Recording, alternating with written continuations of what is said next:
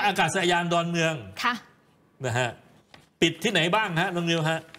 คืออำนวยความสะดวกให้คุณทักษิณเนี่ยคือที่จริงช่วงเช้าอะค่ะคุณผู้ชม เริ่มอันนี้ก่อนละกันครับเพราะว่าเขามีการเผยแพร่เอกสารนะคะ ก็คือเชิญนักข่าวไปทำข่าวแหละ ก็รู้ว่า ต้องแจ้งต้องไปอยู่ตรงไหนจุดไหนเขาไม่บต้อองกเชิญแบบไม่นี้ต้องเชิญนักข่าวไปก็นี่ไงเขาก็ออกเอกสารเชิญ อันนี้รอบแรกบอกว่าขอความไม่กรุเขาณาประลชางสัทะมเบีพัยนนธ์บอกถ้าเกิดอ่ ถ้าเกิดว่าจะมาทำข่าวเนี่ยนะฮะค่ะต้องติดต่อเขาต้องยิงเขาอาโค้ดแล้วก็ต้องแสดงใช่ใช่บัตรประชาชน บัตรประจำตัวผู้สื่อข่าวใช่ไหมฮะ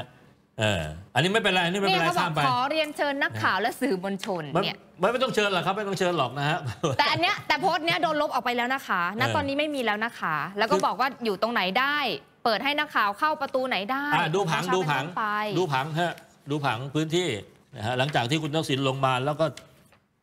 อันสมมุติว่าคุณทักษิณมานะ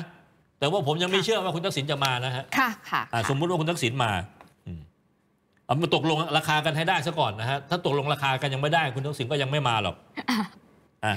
ก็จะมีจุดลงทะเบียนสื่อมวลชนนะคะ คุณผู้ชม แล้วก็จะมีที่จอดรถบริเวณหน้าอาคารจอดรถ 5 ชั้นครับอันนี้บอกว่ารองรับได้ 100 คันสำหรับพี่น้องประชาชนอืมและจะมีจุดที่ 3 จะเป็นที่จอดรถด้านหน้าคลังสินค้าทีสี่4 อันนี้จอดได้ 50 คันฮะอันนี้สำหรับพี่ๆสื่อมวลชน แล้วก็มีจุดจอดรถด้านหลังคลังสินค้าทีสี่4 อีก 60 คัน อันนี้สำหรับพักการเมืองแล้วก็รัฐบาลฮะโอ้พักการเมืองแล้วก็รัฐบาลด้วยนะ แล้วก็มีจุดลองเทอมรัฐบาลไหนที่รัฐบาลใต้ลุงตู่อะก็เขาเขียนอย่างนี้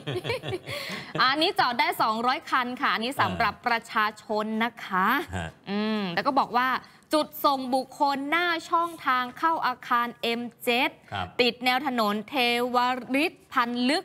อันนี้เพื่อให้เดินทางเข้าไปยังพื้นที่ M7 หมายเหตุไม่อนุญาตให้รถเข้าช่องทางฮะที่เขาแจ้งมาตามนี้ค่ะอืมอืมผู้สื่อข่าวรายงานว่า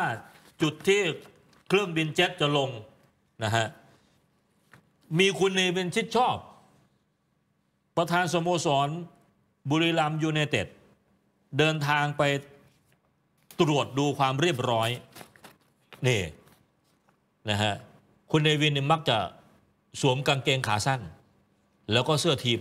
บุรีรัมของเขา ปราสาทสายฟ้า ใช่ตัวจริงไหมน้องมิวฮะ ใช่คุณเนวินตัวจริงไหมถ้าดูข้างหลังแล้วข้างๆอะใช่อ่แต่เราไม่เห็นโอ้ยาเห็นชัดๆแค่เงาก็รู้แล้วว่านี่คือเนวินชิดชอบนะฮะ นี่น่ะน้องมิวฮะ เราจะไม่ยืนยันอะไรเห็นแค่เงาก็รู้ที่ไม่เต็มร้อยเปอร์เซ็นต์เหรอฮะค่ะ นี่เสื้อสีเราขาก็วเห็นเนี่ยภาพแบบมุมไกลเดาเอาเลยนะฮะว่าอ่าข้างหน้านี่เขียนว่าช้างเลยนะ ตัวเบอร์เริ่มเลยเพราะสปอนสปอนเซอร์หลักเขานะบุรีรัมย์ยูไนเต็ดนะๆแสดงว่ากลับมารักกันดีกางเกงแล้วสีกากีฮะกลับมารักและผูกพันกันเหมือนเดิมแล้ว เอ้านะฮะ การเมืองเนี่ยนะ การเมืองมันก็วน loop อยู่อย่างนี้แหละฮะน้องมิวฮะเอาความรู้สึกสิอ่าความรู้สึก การเมืองมันคือ